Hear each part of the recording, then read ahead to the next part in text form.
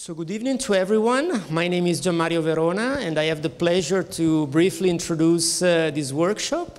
Uh, let me first of all thank all the panelists, and particularly uh, thank Harford. Uh, he, is now part of Bocconi, I would say, because it's the, in, it's the second time he's been here in, in, uh, in a couple of weeks. Uh, he was here to introduce a nice event we did two weeks ago on research. Um, so thanks very much for being here. Uh, this is uh, a lovely event because this is part of Bookcity, which you know is uh, this important five days that has been organized uh, in the city of Milan to, to try to, to, to, to take into account books in a different way. Books are probably the most important thing in terms of culture, and uh, it's, uh, it's something that, uh, fortunately enough, uh, technology will never destroy because they can be e-books, they can be different things, but they are a format which is crucial for us to understand and to learn.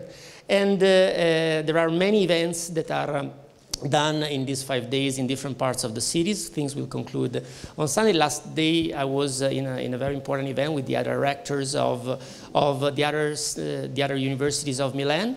And uh, we have discussed about the importance of, of, of, books and the importance of science and culture in general. So tonight, uh, we have the pleasure of uh, debating uh, with uh, two important guests coming from the corporate Italia, although they are part of multinationals and therefore they represent more generally uh, Accenture and IBM companies that are very important all over the world. we will be discussing a book which is, um, in my view, not only beautiful, but it's about a topic which I personally love, which is innovation.